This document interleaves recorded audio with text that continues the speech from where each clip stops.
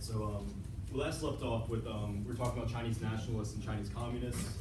Um, Chinese nationalists founded by Sun Zhongshan around 1894, and then um, Chinese communists founded uh, by Mao was one of the founders, right, uh, around 1921. In 1921, a group met in Shanghai to organize the Chinese Communist Party, also known as Gongchangdang.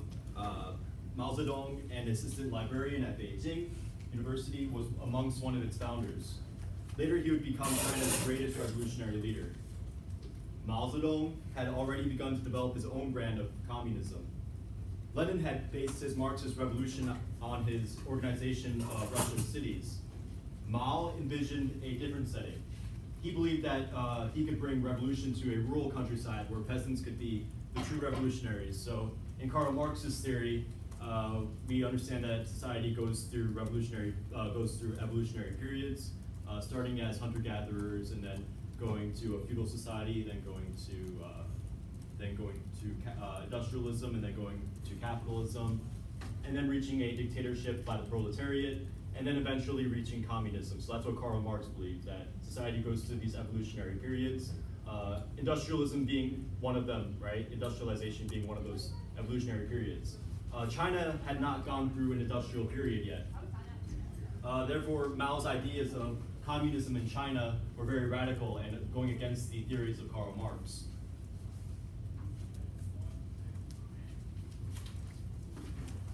He argued his point passionately in 1927, and I quote, The force of the peasantry is like that of the raging winds and driving rain. It is rapidly increasing in violence. No force can stand in its way. The peasantry will tear apart all nets which bind it and hasten along the road to liberation. They will bury beneath them all forces of, and I quote, uh, like to emphasize here, imperialism, militarism, corrupt officialdom, village bosses, and evil gentry. And that's a quote from Mao Zedong. Uh, those last terms, imperialism, militarism, and corrupt officialdom, I think those are terms that we've gone over quite often in this class. Uh, particularly imperialism. If I was to ask you guys what imperialism was, would you guys be able to give me an answer? Yeah. What is imperialism? It's when a large nation takes over. A strong nation takes a smaller nation. Great, great. Uh, perfect. Couldn't have said it better myself. Another quote from Mao was, um, political power grows out of the barrel of a gun. I think that says a lot about the kind of person he was. While the Chinese Communist Party was forming, Sun Zhongshan and the, his nationalist party, the Kuomintang, set up a government in South China.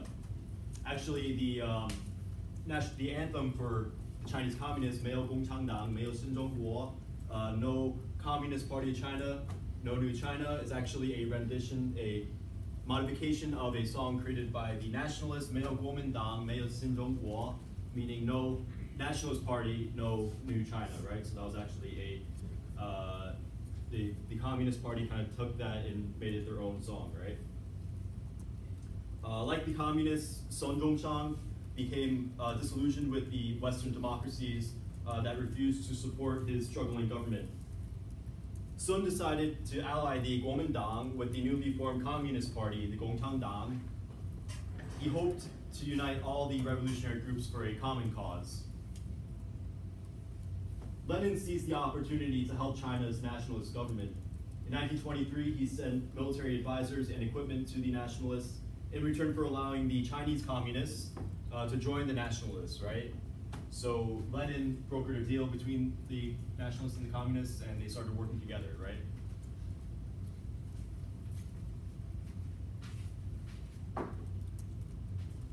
After Sun Zhongshan died in 1925, Jiang Jieshi uh, also known as Chiang Kai-shek, which I guess is a Cantonese way of pronouncing his name, um, is, which is one of your vocabulary terms, by the way, Jiang Jieshi. Um, so this is one of your vocab terms, uh, also called Chiang Kai-shek, uh, took over uh, the Kuomintang uh, around 1925 after Sun Zhongshan died. So Sun Zhongshan died, and Jiang Jieshi took over in 1925.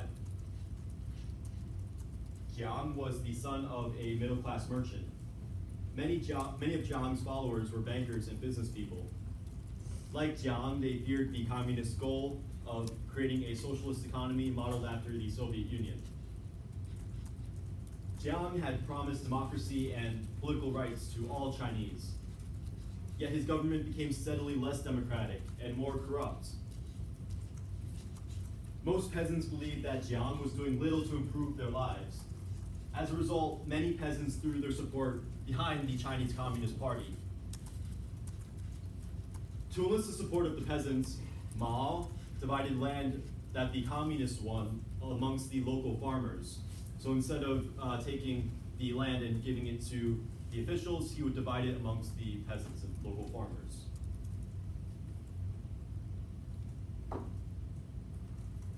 At first, Jiang put aside his differences with the communists. Uh, together, Jiang's nationalist forces and the communists successfully fought uh, the warlords. And around this time, China kind of looked like this, and there was many warlords controlling many parts of China. Uh, soon afterward, though, he returned against the communists. In April 1927, nationalist troops and uh, armed gangs moved into Shanghai. They killed many communist leaders and trade union members uh, in the city streets. Similar killings took place in other cities. The nationalists nearly wiped out the Chinese Communist Party in 1927. In 1928, Jiang became president of the Nationalist Republic of China, also known as Zhonghua Minguo, which is one of your vocabulary terms. So we're doing the uh, China lecture, Sean, if you want to pull that out.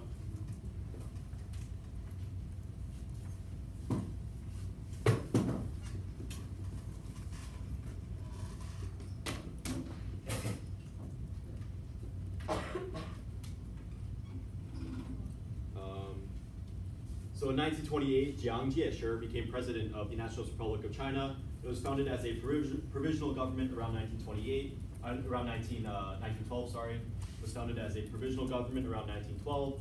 But in 1928, Jiang Jieshi became president of the Nationalist Republic of China, also known as Zhonghua Minguo. Um, right.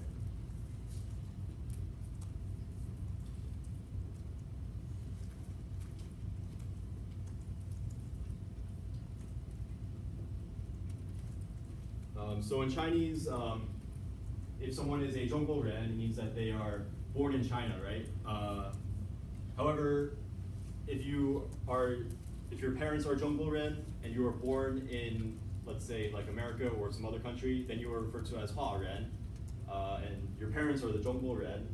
Um, so I guess Hua is kind of like a term for uh, Chinese ethnicity or culture. It's one of the terms. Um, Great Britain and the United States both formally recognized the new government. Uh, because of the slaughter of the Chinese communists at Shanghai, the Soviet Union notably did not. Jiang's treachery also had long-term effects. The communists' deep-seated hatred over the massacre erupted in a civil war that will last until 1949. By 1930, nationalists and communists were fighting a bloody civil war. Mao and other communist leaders established themselves in the footholds of south central China. Mao referred to this tactic of taking his revolution to the countryside as swimming in the peasant sea. He recruited the peasants to join his Red Army. He then trained them in guerrilla warfare. Guerrilla warfare is one of your vocabulary terms. Simply put, it's uh, small bands of soldiers uh, doing hit and run tactics against uh, a conventional standing army. So that would be your definition that you would put down for guerrilla warfare. It's one of the definitions in the, one of your vocabulary terms that you should write down right now. Um, small bands of soldiers doing hit and run tactics against a conventional standing army. Uh, nationalists attacked, the nationalists attacked the communists repeatedly but failed to drive them out. In 1933, Jiang gathered an army of at least 700,000 men. Jiang's army uh, surrounded the communist mountain stronghold. Outnumbered, the communist leaders realized that they faced defeat. In a daring move, 100,000 communist forces fled.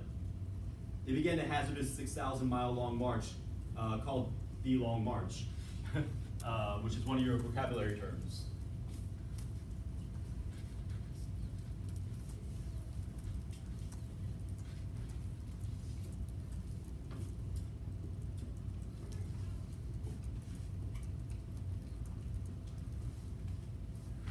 So in 19, um, 1933. About 6,000 miles.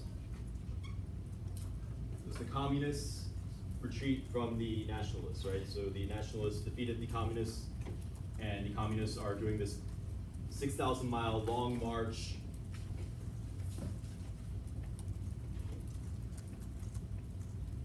Also known as Changzheng. Uh, this distance is about the distance from New York to San Francisco and back again. So imagine walking from here to San Francisco and then back again, quite the, quite the walk, right? They crossed miles of swampland. They slept sitting up, leaning back to back in pairs uh, to keep from sinking into the mud and drowning. In total, the communists crossed about 18, uh, they crossed 18 miles, 18 mountain ranges, and 24 rivers in the year-long flight from the nationalists. Between 1934 and 1935, the communists kept only a step ahead of Jiang's forces.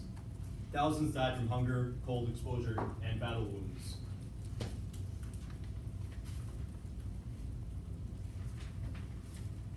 Finally, after a little more than a year, Mao and the seven or eight thousand communist survivors settled in caves in northwestern China. There they gained new followers. Meanwhile, as civil war between nationalists and communists raged, Japan invaded China. You have a question? So why did why did they do the long march? Because the Chinese nationalists defeated the communists, oh. and so they're doing this long march and retreat from the nationalist forces.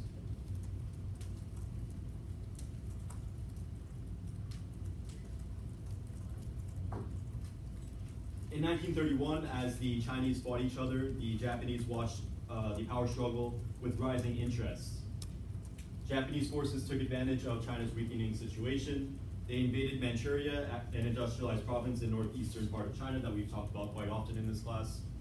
Um, in 1937, the Japanese launched an all-out invasion of China.